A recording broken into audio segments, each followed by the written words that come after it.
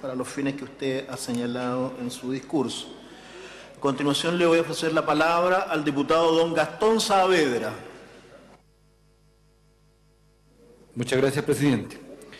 Por su intermedio, vengo a saludar a los habitantes y autoridades de la comuna de Tomé al cumplir sus 474 años de vida.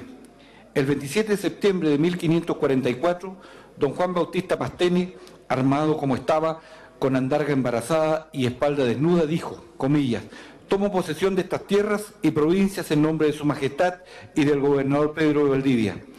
Sin embargo, la fecha se ha establecido un tanto convencionalmente para fijar el descubrimiento de Tomé es el 30 de septiembre, según decreto alcaldicio número 226 del año 1983. Tomé, como expresión geográfica y económica, se originó a partir de la encomienda de los indios. Con el descubrimiento del oro en California, se acelera el desarrollo de los molinos, con lo que consolida el desarrollo comercial e industrial del puerto de Tomé, que surge de un muelle que fue construido en Bellavista el año 1849. Tomé tuvo en el pasado una importancia extraordinaria. Primero fue el puerto de salida obligado del trigo, llevándose en 1871 a exportar el 90,95% de la producción nacional y el vino que se producía en abundancia en las zonas de Coelemu, Rafael, Guariligüe y Ranquil.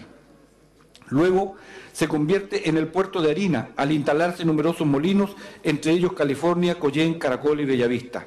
A las molinerías siguen la industria de la curtiembre, la jabonería, la tonería, la actividad naviera era también muy importante. Según consta en documentos de la época de 1872, habrían entrado al puerto 357 barcos, con un total de 177.819 toneladas.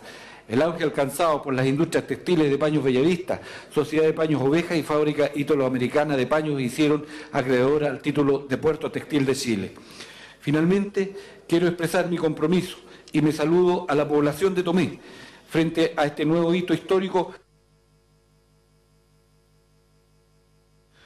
Muchas gracias, señor diputado. Si al señor diputado le parece, enviaremos entonces un oficio al señor alcalde de la comuna de Tomé, transmitiéndole copia del discurso que usted ha dado en esta Cámara, con la adhesión de los diputados que levantan la mano. A continuación, en el turno siguiente, corresponde el uso de la palabra hasta por cuatro minutos 39 segundos al Comité de Revolución Democrática. Ofrezco la palabra. Ofrezco la palabra. Ofrezco la palabra. A continuación, corresponde el uso de la palabra en esta hora de incidentes hasta por tres minutos 29 segundos al Partido Comunista